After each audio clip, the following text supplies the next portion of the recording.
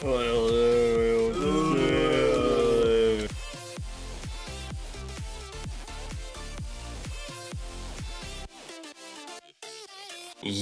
Freunde und herzlich willkommen zum nächsten Video hier auf FC Fabio.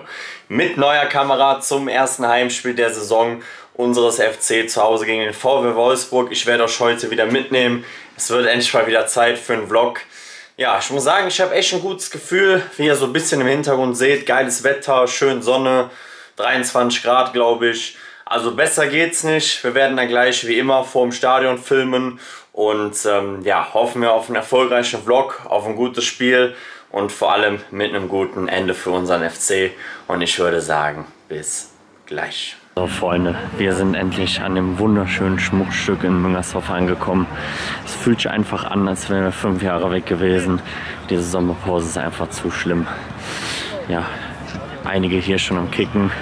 Da wird man schon heiß aufs Spiel ja, auf jeden Fall. Ich habe immer noch gute Vibes. Ich sag aber trotzdem, dass das Spiel sehr, sehr schwierig wird. Ich sage aber, dass wir am Ende knapp mit 2 zu 1 gewinnen und die drei Punkte hier behalten. Was sagt die Chevin? Hallo. Ja, ich denke, wir gewinnen 2 zu 1. Wird ein knappes Spiel, aber ich freue mich total. So, dann kann ja nichts mehr schief